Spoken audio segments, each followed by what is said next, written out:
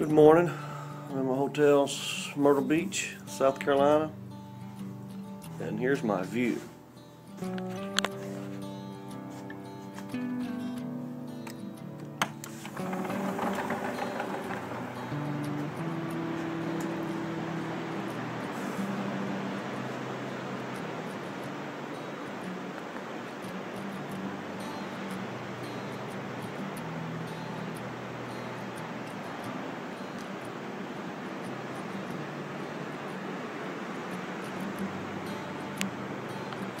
Beautiful, beautiful morning.